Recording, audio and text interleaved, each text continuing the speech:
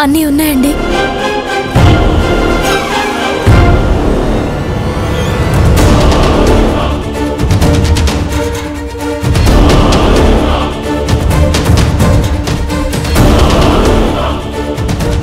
ఆగమ్మా. మా రుద్ర ఫోటో మీ దగ్గర ఉందేంటి?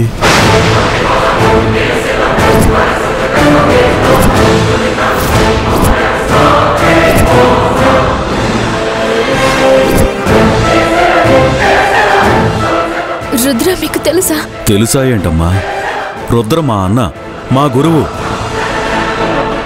నా ఫ్రెండు. ఎంతో మంచివాడు అమ్మా ఎంతో గొప్ప మనసున్నవాడమ్మా. రౌడీగా బతికి చివరికి దేవుడుగా మారాడు.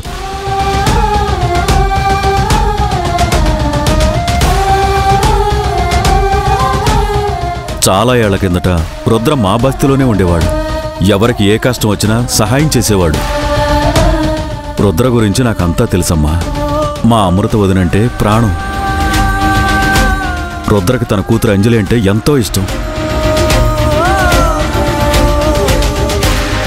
దేవుడిలాంటి మా అన్నకి ఆ దేవుడు మాత్రం అన్యాయమే చేశాడమ్మా. పాపం. ఉన్న రూపం మారిపోయింది. అందరూ ఉన్నా ఒంటరివాడైపోయాడు. ఇవ్వడమే తప్ప తీసుకోవడమే తెలియని రుద్ర తన వాళ్ళ కోసమే ఎక్కడికో దూరంగా వెళ్ళిపోయాడు.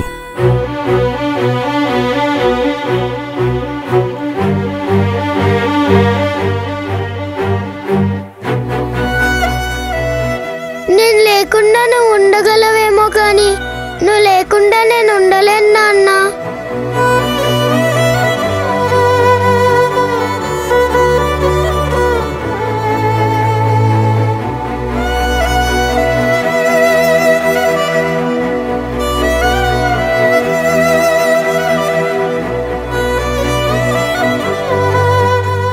ఎవరమ్మా నువ్వు? మా రుద్ర గురించి చెబుతుంటే నీ కళ్ళల్లో ఎందుకు నీళ్ళు తిరుగుతున్నాయి? అసలు రుద్రకి మీకు సంబంధం ఏంటి? ఈ అమ్మాయి ఎవరో కాదు. ఇప్పటిదాకా మీరు చెప్పిన రుద్ర కూతురు అంజలి. ఏంటి? నువ్వు మా రుద్ర కూతురు అంజలివా? మా అమృత వదినమ్మ బిడ్డవా? అచ్చం మా అన్నలాగే ఉన్నావు. నిన్ను చూస్తుంటే మా రుద్రం చూసినట్టే ఉందమ్మా. అమ్మా అంజలి ఇతనెవరు?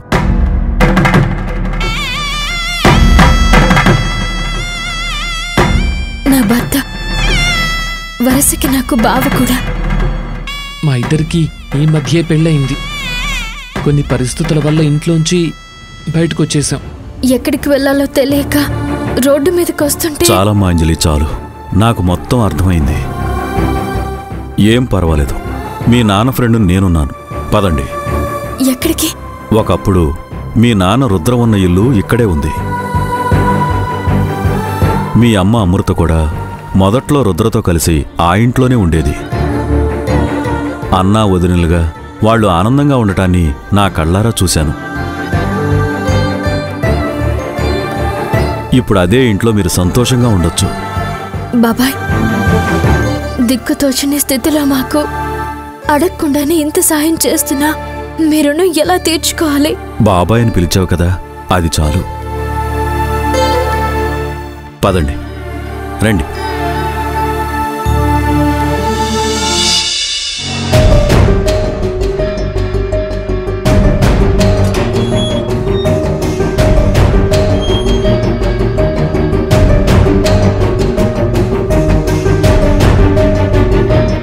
ఇదేనా మా ఇల్లు. ఇద్దరూ ఒకరికి ఒకరై జీవితాంతం సంతోషంగా ఉండండి. ఇదిగోండి. నేను వెళ్ళొస్తానమ్మా. వస్తాను బాబు.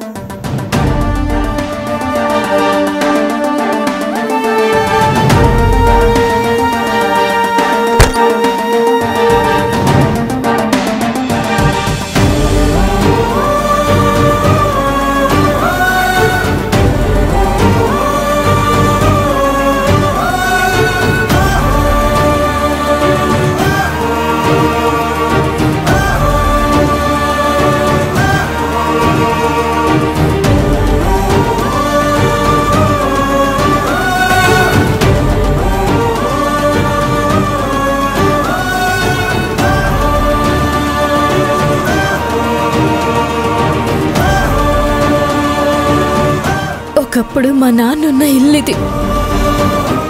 ఇల్లు కాదిది. మనిద్దరికీ గుడి లాంటిది.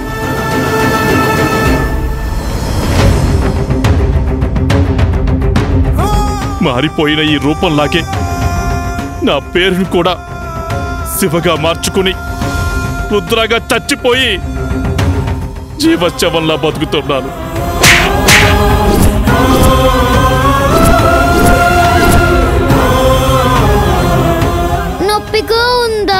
హోస్ అదా నొప్పి గిప్పి ఏమీ లేదు. కావాలంటే చూడు.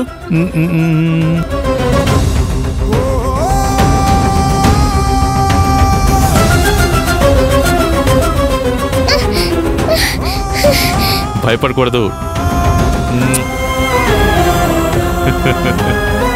ఏ పాపిష్టి తల్లి జన్మనిచ్చిందో నీకు? మాకు దాపరించావు.